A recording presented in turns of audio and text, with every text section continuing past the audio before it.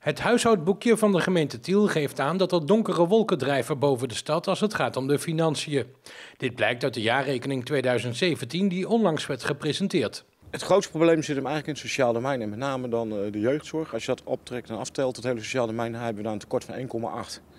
En dat, eh, dat tekort dat is gewoon structureel aan het worden. Dus dat betekent dat we ieder jaar daar last van hebben. En dat betekent eigenlijk dat we gewoon op een of andere manier structureel ook 1,8 of 2 miljoen extra moeten gaan vinden.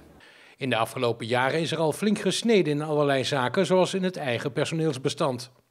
Is al bekend waarop bezuinigd kan worden.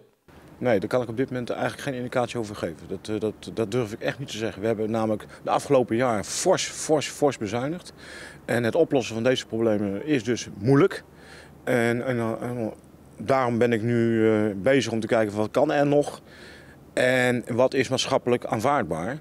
En ja, dus op dit moment kan ik niet ook maar één richting geven, omdat ik dat op dit moment te vroeg vind. Eind september praat de gemeenteraad over de keuzes die voorkomen te liggen.